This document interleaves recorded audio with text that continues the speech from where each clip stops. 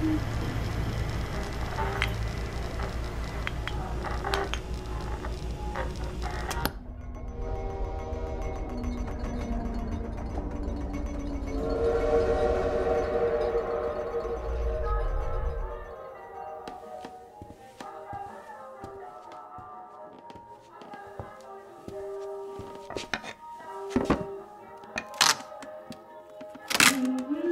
нет, какая-то вот именно такая.